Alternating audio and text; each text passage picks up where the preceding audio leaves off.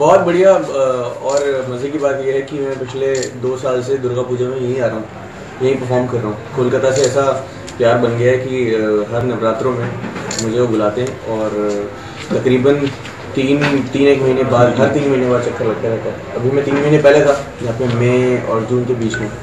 तो वहाँ पे कुछ पूल पार्टी का था। अभी मैं ये कर डांडिया करने आया हूँ। तो कोलकाता से बहुत प्यार है।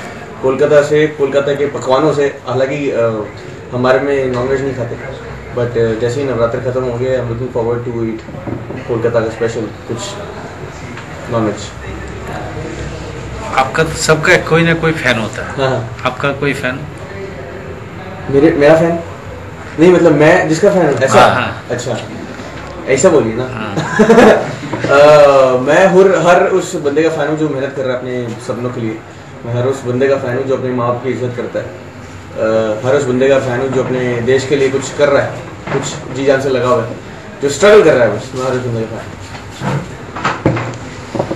आपका नया एल्बम क्या आ रहा है अभी? मेरा नया एल्बम अभी एक पंजाबी गीत आया जो कि एक आपके मोबाइल में ऐप होगी गाना डॉट कॉम तो उसके साथ मेरी मेरी कोलेबोरेशन है। मैं इंडिया से तीसरा बंदा हूँ जिसके जिसके साथ गाना वालों ने कोलेबोरेशन किया है।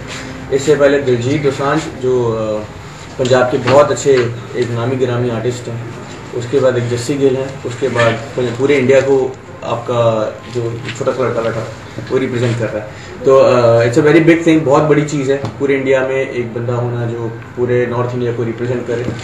मैं, तेरी हो गई, ये गाने का नाम है, और गाना बहुत अच्छा चल रहा है, लोगों को बहुत पसंद आ रहा है, और मैं यहाँ पे भी गाने वाला हूँ।